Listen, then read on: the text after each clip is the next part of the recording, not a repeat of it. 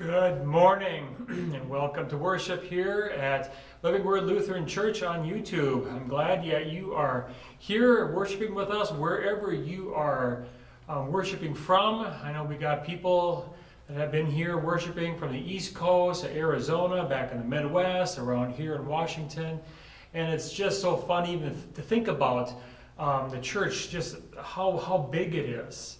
And it's not just about the local gathering, it's about brothers and sisters connected all over the world um, through Jesus Christ as our Lord and Savior. And that's why we come together here, um, is to give praise and, um, and worship and glory to God uh, for what Jesus has done, to give us the hope of the resurrection until eternal life.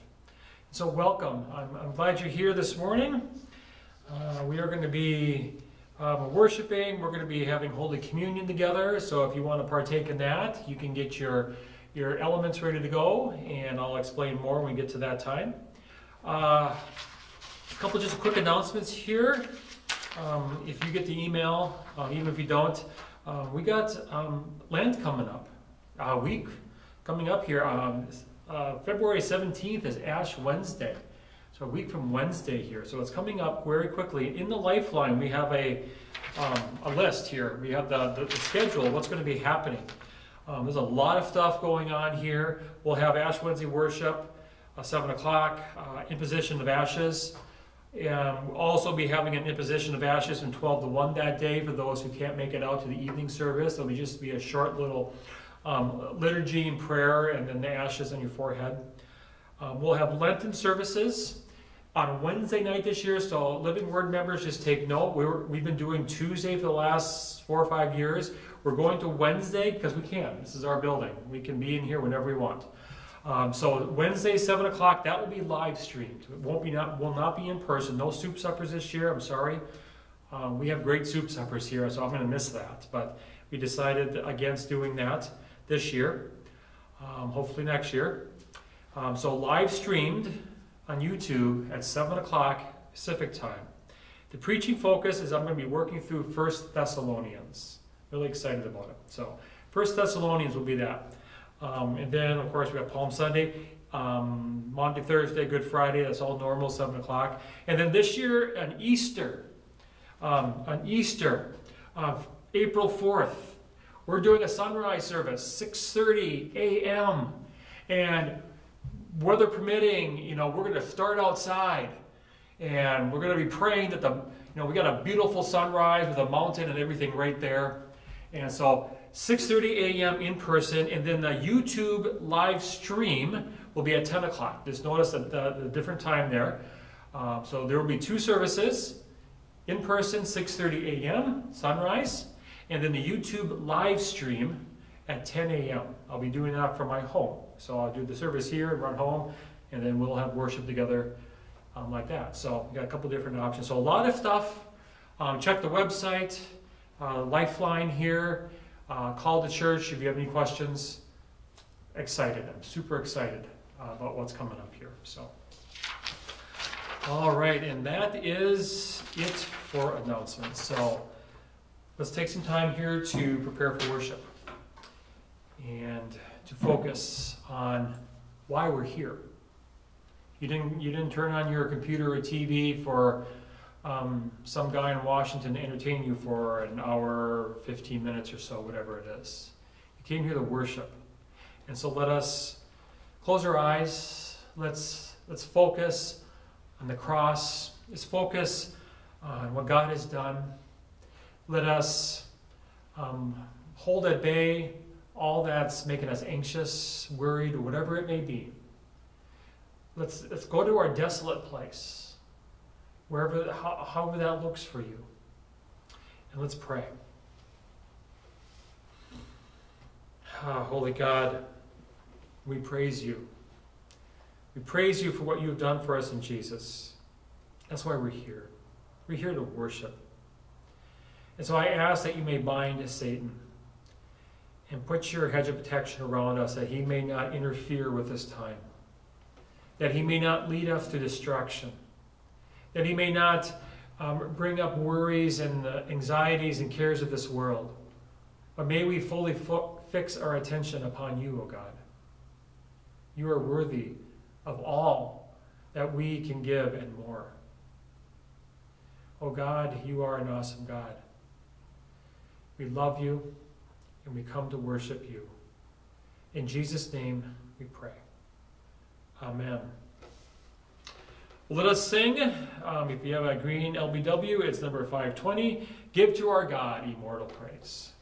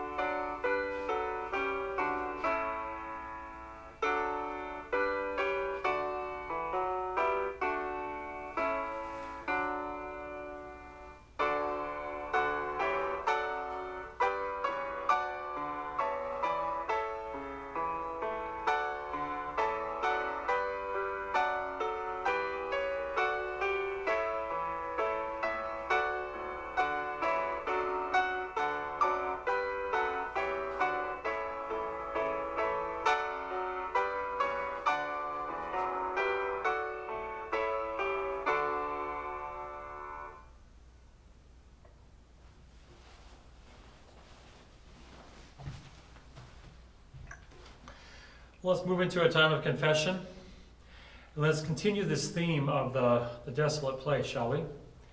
Remembering Jesus went to desolate places often.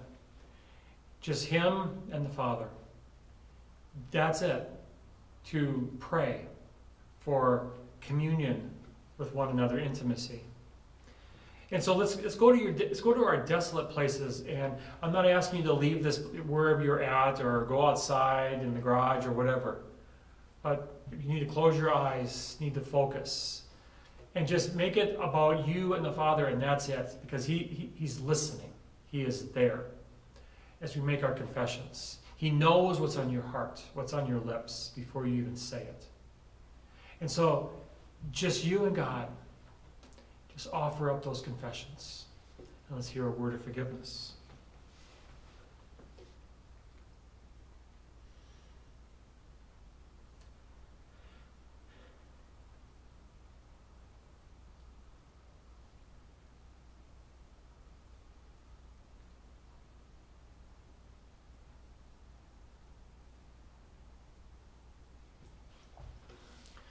Holy God, you are our awesome God. You have shown incredible love and mercy, but we are not deserving of any of it. We are sinners. We have disobeyed. We have fallen away. We've gone after our own desires and passions. We have tried to do things over and over on our own with no thought of you. We violated your law and your precepts. Oh God, hear us. Hear our prayers. Receive our confessions. Have mercy upon us. In the name of Jesus Christ, I pray. Amen. Almighty God, in His mercy, has given His Son to die for us, and for His sake, God forgives us all our sins. And so, as a called and ordained minister of the Church of Christ, and by His authority, I therefore boldly and confidently and joyfully announce unto you the entire forgiveness of all your sins, in the name of the Father, and of the Son, and of the Holy Spirit. Amen. Let's get your Bibles out. Hopefully, you have your Bibles with you. We're in worship, after all, right? Um, if not, you can listen. And we're going to be starting in Psalm 147, verses 1 through 11. I'll be reading from the ESV version. You can follow along whatever version you have. Psalm 147, verses 1 through 11. Praise the Lord, for it is good to sing praises to our God, for it is pleasant, and a song of praise is fitting. Amen? The Lord builds up Jerusalem. He gathers the outcasts of Israel. He heals the brokenhearted and binds up their wounds. He determines the number of stars. He gives to all of them their names.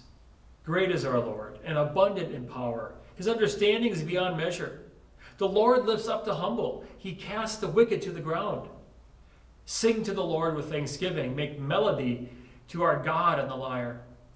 He covers the heavens with clouds. He prepares rain for the earth. He makes grass grow on the hills. He gives to the beasts their food, and to the young ravens that cry. His delight is not in the strength of the horse, nor his pleasure in the legs of a man. But the Lord takes pleasure in those who fear him, in those who hope in his steadfast love. The word of the Lord. Thanks be to God. Now, from Paul's letter to the Corinthians, we're going to be in the ninth chapter, being verses 16 through 23.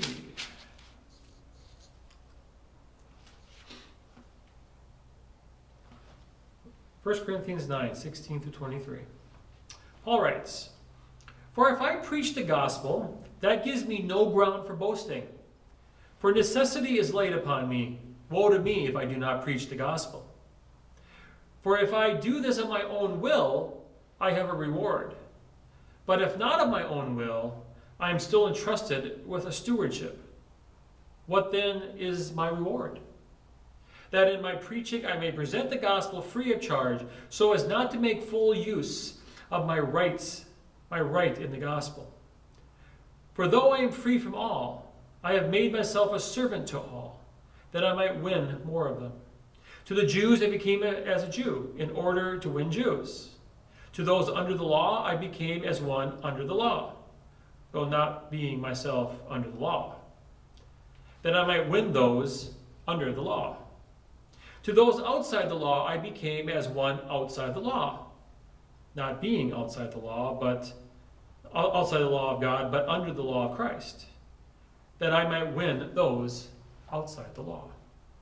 To the weak I became weak, that I might win the weak. I became all things to all people, that by all means I might save some. I do it all for the sake of the gospel, that I may share with them in its blessing. The word of the Lord. Thanks be to God.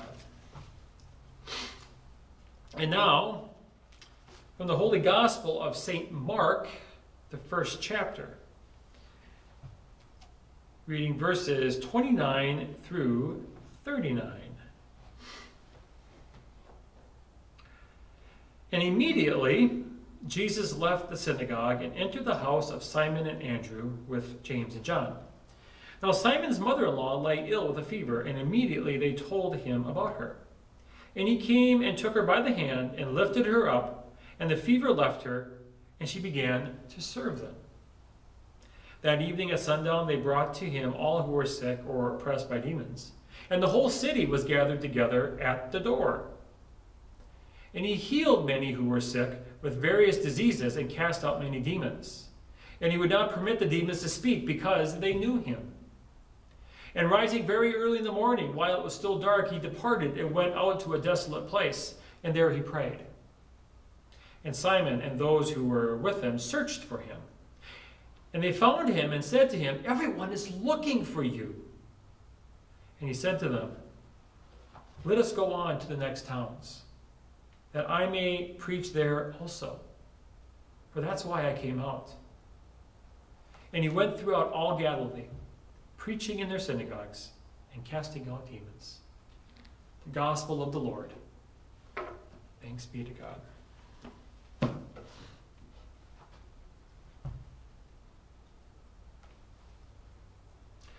Well, grace, peace, and love to you from God our Father and from the Lord and Savior Jesus Christ. Amen. Ministry is really quite easy when you think about it. The problem is, we either make it more difficult than it has to be, or we think we're doing just fine when actually we're just waiting in the kiddie pool missing the golden opportunities. Or we are simply unprepared or unaware of the open doors around us. I mean, think about it. How many times have you encountered the situation when you had a golden opportunity to share Jesus but did not, and then afterwards were kicking yourself for not saying anything? Been there, done that. Or maybe you just felt completely lost on what to do in ministry or scared because you felt out of control, or worried that things seemingly were falling apart. Been there, done that. Did you know?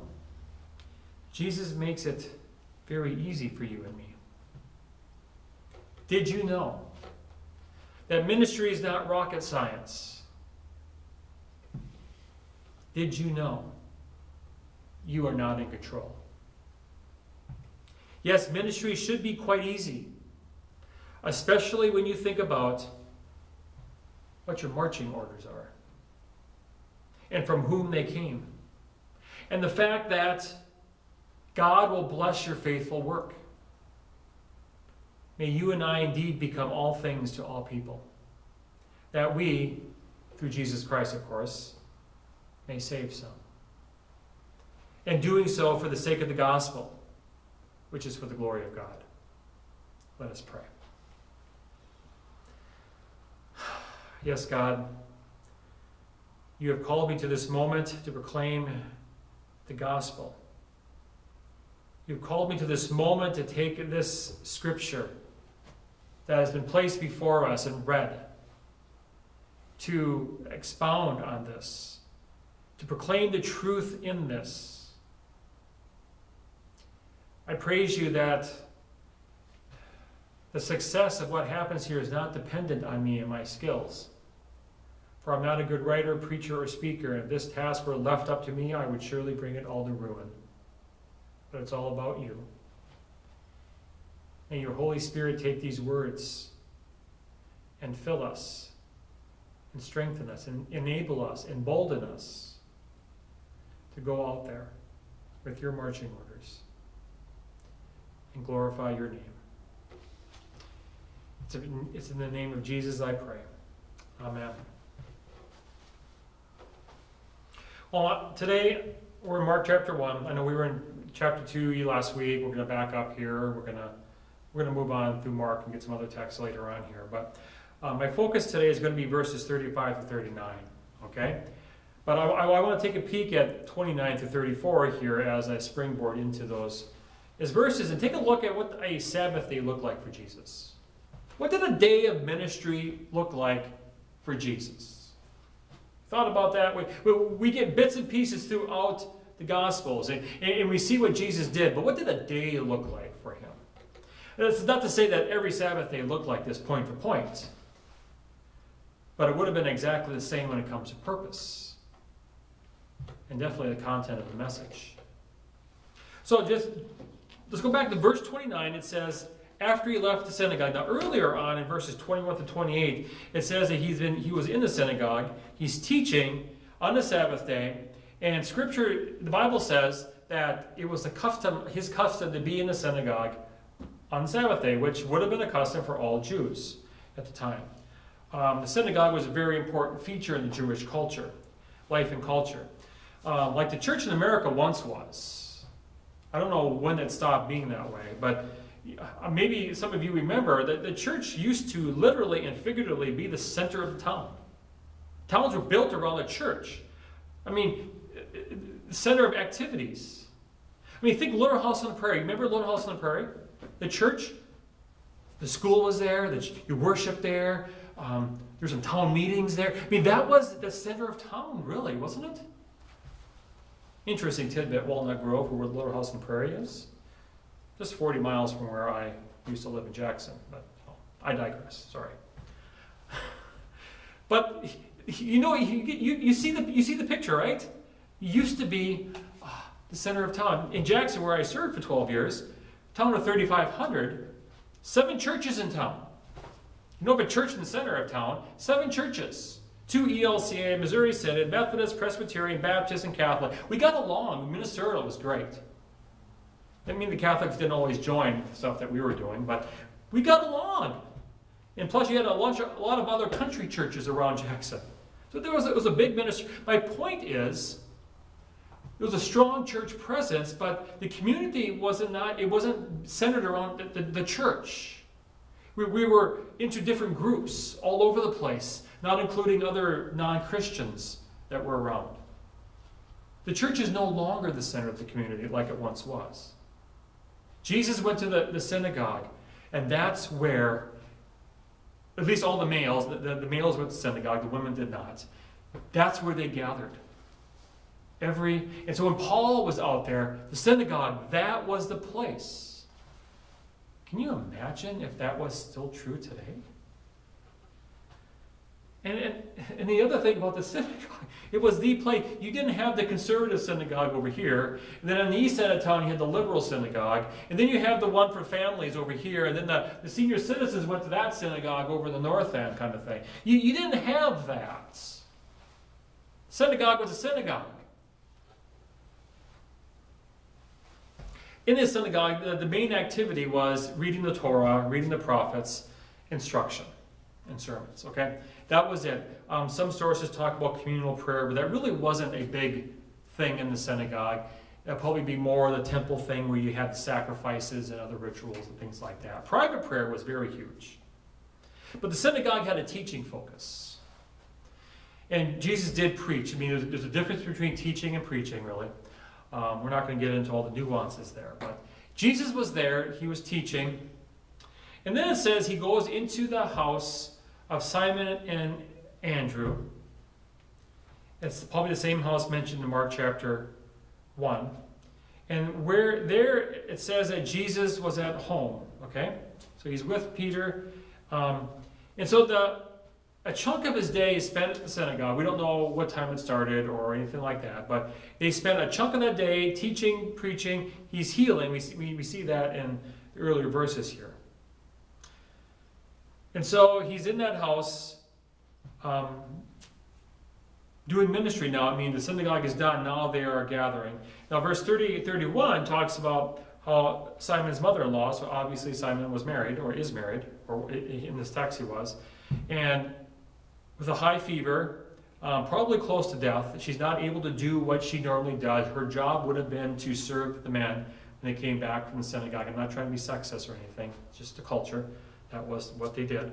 Um, and they came in, she, he took her by the hand, and the fever left her, and she began to serve. So he, she was immediately healed. There was an immediacy of right now, um, complete restoration. That's what Jesus does. He brings restoration. And he healed this mother in law. He never missed a moment to heal.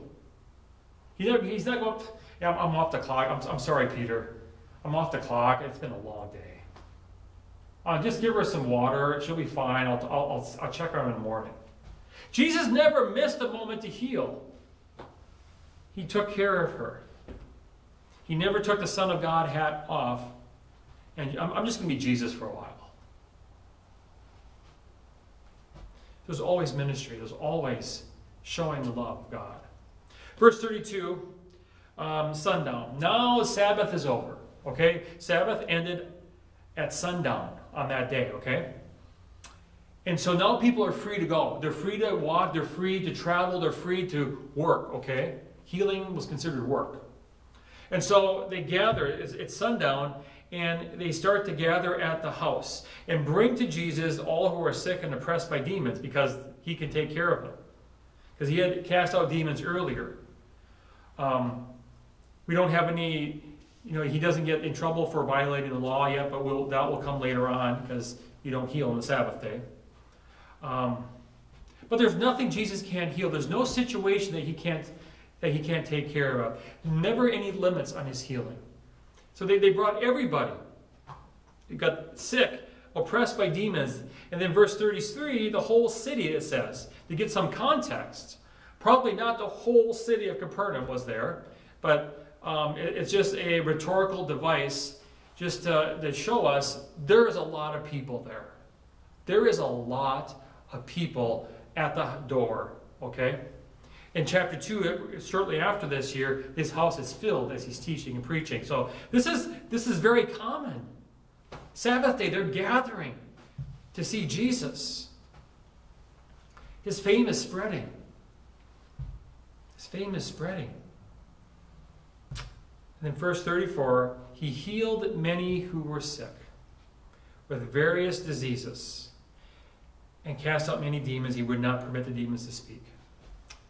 He continues to exercise the same authority that people saw him exercise in the synagogue earlier, what he did. It was not a show for those in positions of power. This is who Jesus was. He healed. He took care of people. He healed many, it says. Not in the sense that he healed many, but not everybody. Um, he, healed, uh, he healed everybody. Anybody who showed up got healed. Not, not in the sense, yeah, it's well, 10 o'clock. I'll take the next five people in line to, and then everyone else come back. You, have been in that line before, I mean, mean number six? Oh, that's frustrating. You think Jesus did that? No, he healed many. He healed everybody. Anybody who was there that night, they got a healing. You get a healing, you get a healing, we all get a healing. That's what happened. So this is a long day, isn't it? It's a long day. I don't know about you, but I, I go through this. I'm tired. I'm tired thinking about what Jesus did on that Sabbath day. This is just one day. The next day is going to be the same, isn't it? So he, he's teaching God's word and, and proclaiming God's word, okay? Um, he's healing and serving the brothers and sisters. So those who are in the synagogue, those who are close to him, he's, he's caring for them, okay? So that like, like people taking care of people in the church. We can talk about that. He, he's having fellowship. There's a lot of people here at Living Word that love to go out to eat afterwards. Now that we can, things are opened up now, we can do that kind of thing. People like spending time together here. Not having fellowship time and coffee, coffee and cookies, that, that, that's, that's, killing us. we, we, we like this, we like that. We like getting together. And then he, he heals and serves the needs of those who maybe don't know him. I mean, this would have been his custom. And it sounds like a pretty good recipe for ministry. But on the surface, it looks like hard work. Thus, but thus, verse 35. I love the fact that Jesus does verse 35. I love it. I love the fact that Jesus does this rising early in the morning. While it's still dark, he departed and went to a desolate place, and there he prayed. Still dark, he gets up, he goes. I did a word search of desolate place in my Bible program on my computer, and I got pictures of like rocky crevices and um, deserts and just nothing. No greenery, no animals, no people, no nothing. It's desolate. He didn't, he didn't go into the backyard. He didn't go around the corner to the park. I don't know if they had parks in Capernaum then, but he, he, he went out of town. He went out of the city to a desolate place. And there was nothing. Okay? Nothing. But him and the Father. Jesus retreated. I want to retreat just reading all that he did. He retreated and this would have, it's not just he did it here in verse 35, and then he, oh, I'm going to retreat later on here in you know, chapter 6. No, this would have been his custom. Whether he went off into the desert or he went to a different desolate place, whatever the case is. Um, he went away. And you just, just think of these other moments in his ministry when he does this, where Scripture talks about him going away. Mark chapter 6. 46. Feeds the 5,000, sends the disciples out in the boat, walks in the water. Okay, so they're supposed to be, they're in a desolate place, they're supposed to have quiet time. People show up, he feeds them, sends the disciples out, dismisses the crowds, goes on the mountain, desolate, to pray by himself, then walks on water, which reveals his godness to them. Only he has authority over nature. That's a big, pretty big moment. Um, Luke chapter 5, following um, the, the gathering of great crowds in which he healed people, he, he, went to, he went to a desolate place afterwards. Luke 6 12, he prayed all night and chose 12 from among all the people following him, who he called apostles. That's a pretty big decision, isn't it? These are the 12 people who are going to be the foundation of the church when Jesus rises from the dead. He spends all night in prayer with the Father. Matthew um, 26, verse 39, the Garden of Gethsemane. Pretty big moment. Desolate place by himself. Do you have a desolate place? Well, of course, Pastor, we're in a pandemic. We got to be socially distant. We're in our apartments by ourselves. That's not what I mean. It's one thing to be by yourself. What do you do? I have a couple desolate places. One of them is in here. This, this place is far from desolate, but during a week, shut the lights off, had the candle going. I have this spotlight here that's shining across, and I walk laps, and it's quiet. It's beautiful. Sometimes I'm, I'm praying, I'm talking through sermons, Maybe I make a pastoral care phone call, but it's beautiful. Other desolate place is my living room between 5 and 7 in the morning. Kids get up at 7. So, yeah, I get up early when it's dark. I'm not trying to copy Jesus because I think he's got the copyright in this, but, um, but it, it's quiet. It, it, it's, I, I feel ready to tackle the day when I, when I have this time. But not everyone can do that. Yes, you may be alone. But that's the place of just getting away, just you and the Father. Just you and God. We're, and maybe it's not hours, maybe it's five minutes, whatever it is. It's getting away. It's getting away. And we need that. We need that time. This is important for ministry. It's important for the Christian, it's important for the church. In some senses of, of the word, the church has been in a desolate place for a while during this pandemic. I think the church is coming out of this here. You see, you see, you can't get your marching orders for ministry unless you spend time meeting with the general, right? You're not going to know what to do. You're not going to be comforted. You're not going to be encouraged.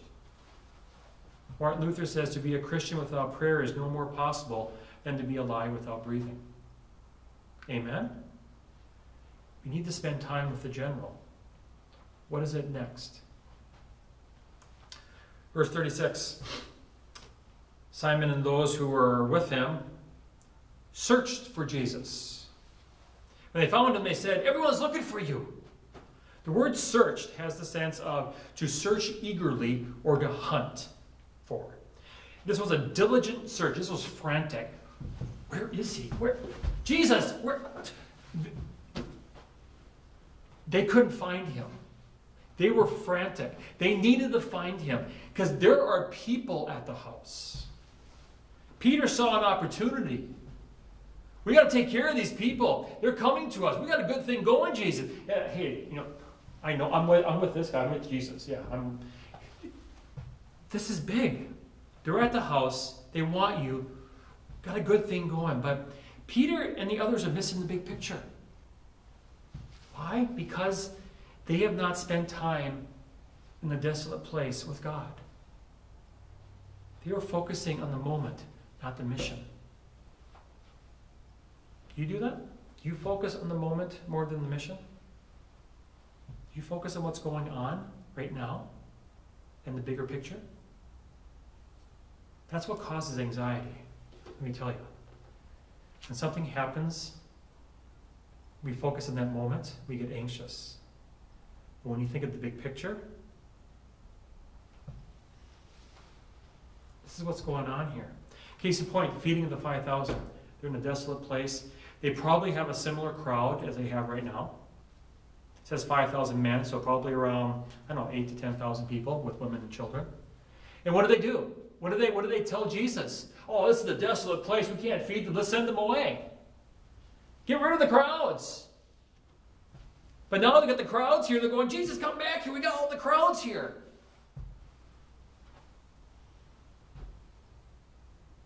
They're at home. They don't mind. We're comfortable. Yeah, hey, we have the people here. This is great. But Jesus shows us that true godly ministry that glorifies God. It's not about a place, but rather about the person. It's about. It's not about what makes you comfortable, but rather what glorifies God and advances the gospel. Paul, in 1 Corinthians 9, I become all things to all people that I might, by all means, that by all means I might save some.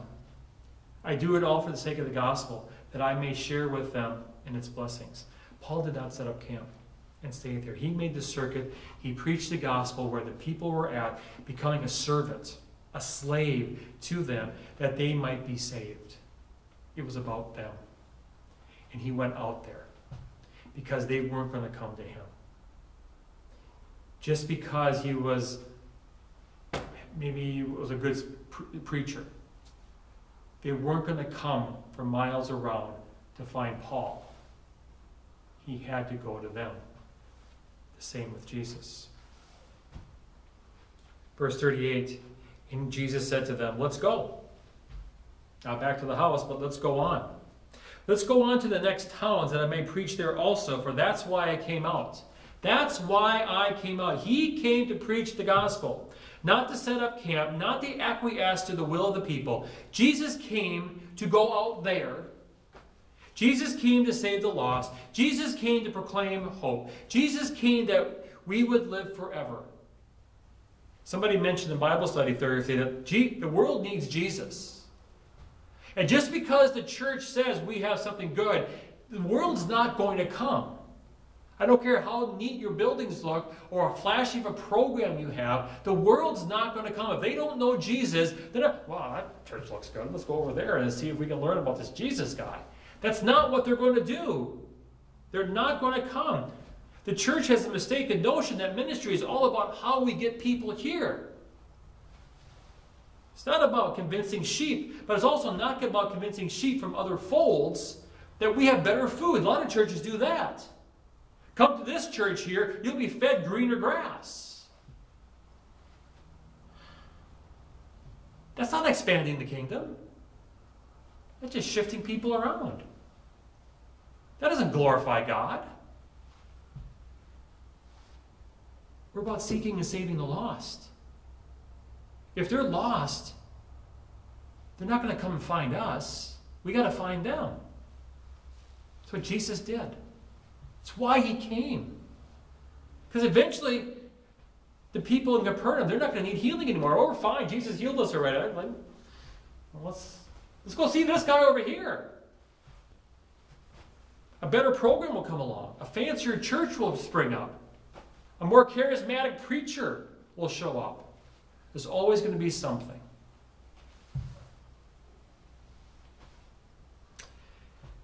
Verse 39 And he went throughout all Galilee, preaching in their synagogues and casting out demons.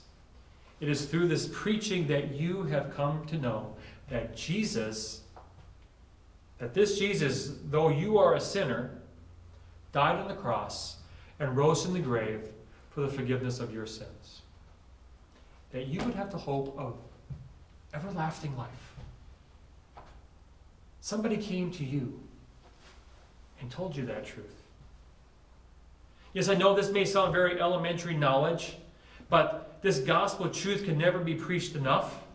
Even for those who are PhDs in their faith, need kindergarten level knowledge that Jesus loves you, this I know, for the Bible tells me so.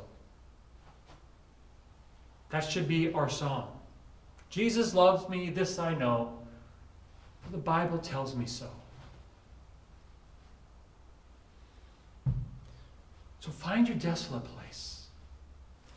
Find that place, that time, that moment with God, and listen to the general. Receive your marching orders and go. It's really that easy. Becoming all things for all people that you might win some for God, thus saving their lives. That's what the mission is. That's what it is. Feed people with this truth. Heal people with the hope of the resurrection. Dwell in your desolate place. Live and proclaim the gospel. There you go. May this be your custom, each and every day, O sinner, redeemed by the blood of the Lamb. And give glory to God with all that you say and do. All praise, worship, and thanksgiving be unto God our Father through Christ Jesus our Lord. And all God's children said, Amen.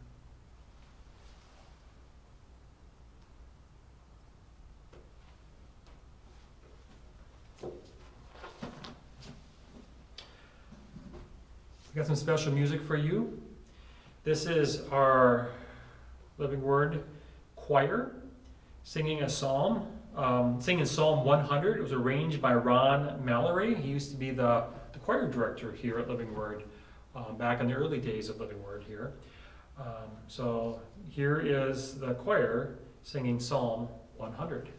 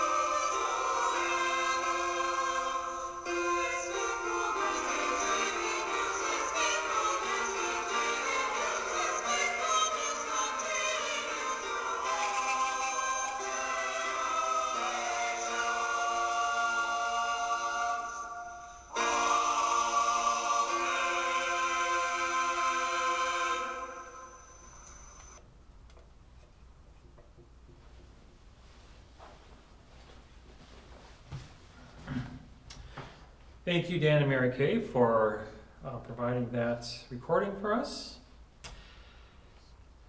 So, with that, we have heard the Word of God read, we've heard it proclaimed, and now let us confess our faith. And we'll do so using the words of the Apostles' Creed. I believe in God the Father Almighty, creator of heaven and earth. I believe in Jesus Christ, his only Son, our Lord. He was conceived by the power of the Holy Spirit and born of the Virgin Mary. He suffered under Pontius Pilate, was crucified, died, and was buried. He descended into hell. On the third day, he rose again. He ascended into heaven and is seated at the right hand of the Father.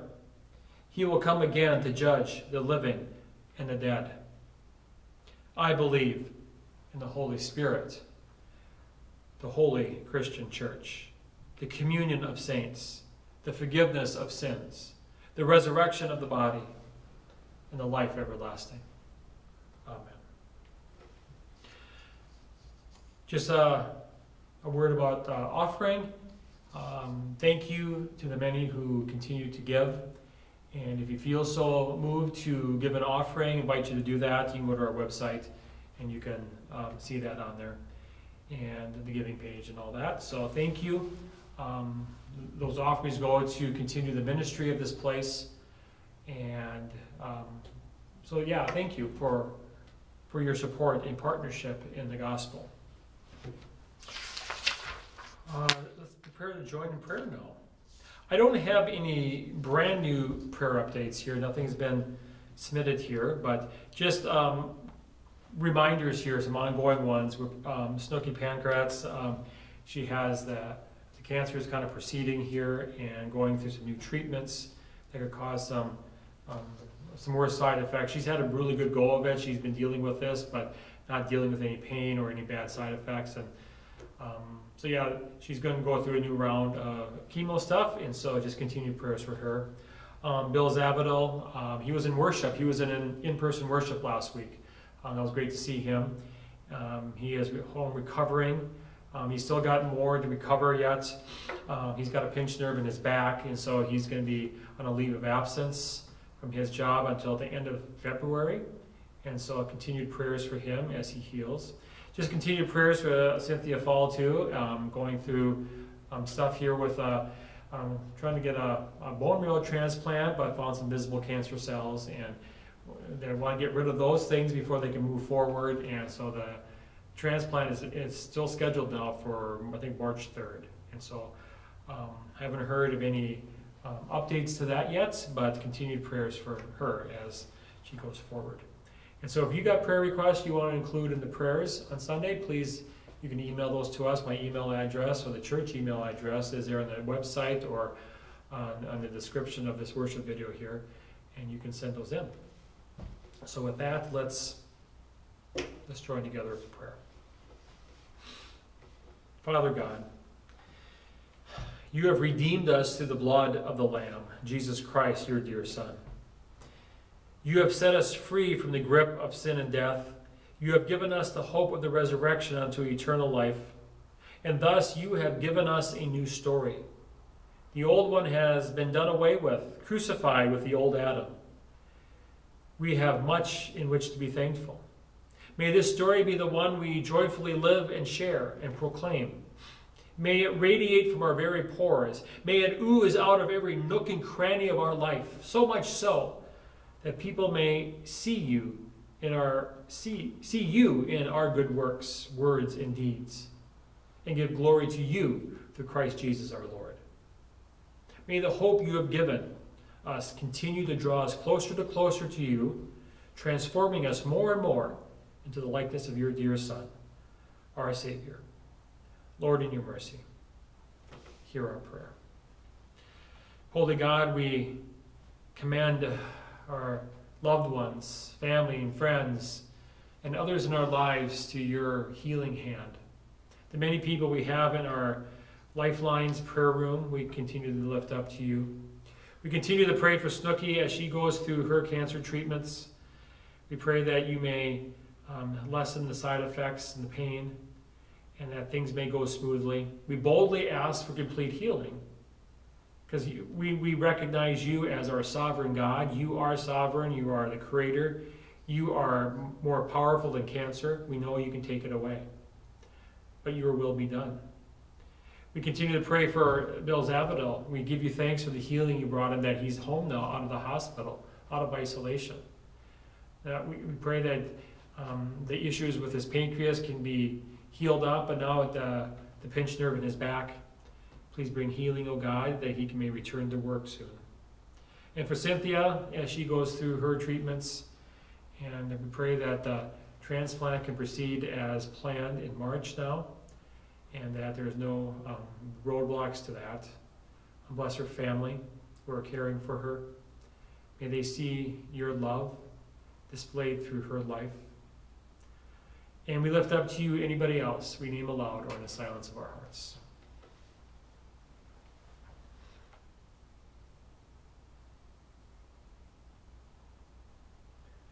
Grant them healing, O God, in any way you see that they need. Lord, in your mercy, hear our prayer. Holy God, we live in two kingdoms. Through faith in Jesus Christ, we joyfully live in your everlasting kingdom. But as mortal beings in this world, we live in a finite kingdom of this world, ruled by sinful men and women. And so, O oh God, I pray for our president, vice president, Senate, House of Representatives, Supreme Court, state and local governments. I pray for all those in power and authority that they may rule with mercy and justice and without prejudice. I ask that you may transform their hearts and that they may be obedient to you. Speak the truth to them, and may they rule rightly. Lord, in your mercy, hear our prayer. Sovereign God, so many people have been impacted by this ongoing pandemic. Families are stressed, people are out of work, small businesses are fighting to stay open. Students are struggling with the uncertainties surrounding schools, sports, and extracurricular activities. All of this takes a toll, not just on those individuals, but all people. Oh God, bring healing and restoration to this world on such a scale that people have no choice but to attribute it to your mighty and gracious hand, thus giving you the glory. Give hope to the hopeless. Give strength to the weak. Give resources to the depleted. Give healing to the broken. Give life to your people. Lord, in your mercy, hear our prayer. Creator God, through your Holy Spirit, you knit your people together. And we take great comfort that Jesus is the head of the church and not sinful people. You raise up leaders and provide for the church that we may glorify you in this dark world. No one person is indispensable. No one person carries the body of believers on their own. It is you and only you, and thus create in us a greater faith and confidence that, though things may change over time, you are always in control. It is about your will being done. Lord, in your mercy, hear our prayer. Father God, to you be the glory. To you be all glory. To you be praise and worship. To you be all praise and worship. You alone are worthy of that worship. You alone are worthy of all worship. And so we raise our petitions to you and trust that you always hear us. You know the cares of our hearts. You know our deepest needs. You provide daily bread. You hold our lives in your hands. And so, it's into your hands, O God, that we command all for whom we pray, trusting in your mercy through Christ Jesus our Lord. Amen. Well, at this time, let's prepare to join together and hold the communion. If you're going to partake in that, I invite you to get your elements ready to go. Um, if you're not going to do that, you're not comfortable doing it in this fashion, that's okay. I encourage you to listen to the words and hear the words of promise that are proclaimed here. We are knit together and into one body. We are partaking in one holy spiritual food here. Um, we're hearing how Jesus died on the cross for the forgiveness of your sins. He spilled his own blood. He, he's crucified, he died, and he was buried, and he, and he, and he, he, ra- he was risen for you. And so let's be fed. And so, in the night in which he was betrayed, our Lord Jesus took bread, and he broke it and gave thanks, and gave it to his disciples, saying, Take and eat. This is my body given for you. Do this in remembrance of me. In like manner, after supper, he took the cup, and when he had given thanks, he gave it to his disciples, saying, Take and drink. This cup is a new covenant in my blood, shed for you and for all people, for the forgiveness of sins. Do this in remembrance of me. Joined together by the Holy Spirit, let us pray the prayer that our Savior has taught us. Our Father, who art in heaven, hallowed be thy name. Thy kingdom come, thy will be done, on earth as it is in heaven.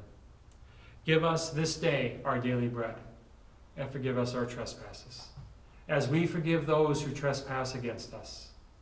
And lead us not into temptation, but deliver us from evil.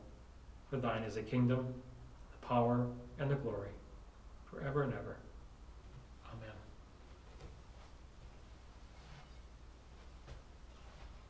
And now, the body of Christ, which has been given for you.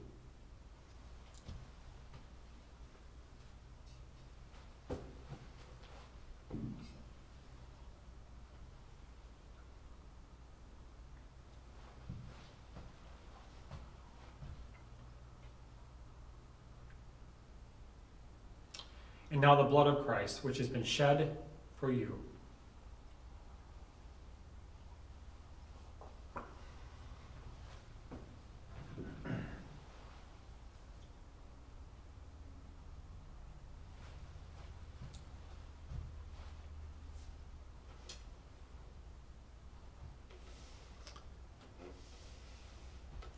Now may the body and blood of our Lord and Savior Jesus Christ strengthen you and keep you in his grace. Let us pray. Father God, we give you thanks that you have set before us this holy meal, uh, body and blood of your Son, Jesus Christ our Lord. Strengthen us now in faith toward you and fervent love toward one another. For the sake of Jesus Christ we pray. Amen. Well, let us sing. We have a closing hymn here today. Um, it's going to be LBW number 522, Come thou Almighty King.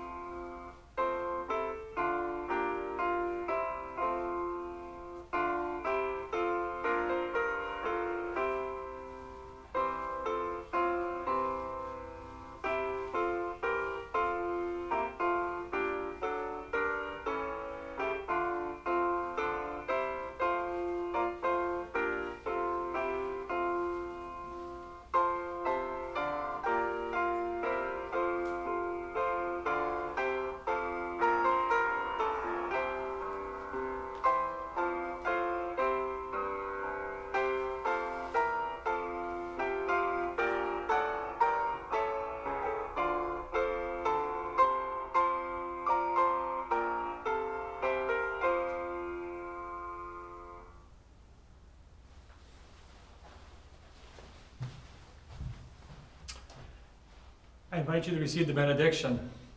May the Lord bless and keep you. May the Lord make his face shine upon you and be gracious unto you. May the Lord look upon you with his favor and grant you his peace. In the name of the Father, and of the Son, and of the Holy Spirit. Amen. Well, thank you once again for joining um, us for worship here today, wherever you're worshiping from. Um, it's been great to have you here. Um, I pray um, blessings on your week as you go out and serve in the mission field. Spend time in your desolate place. Get your marching orders. Go out there and glorify God and share the light with a world that's in darkness. Let's praise God with how we live.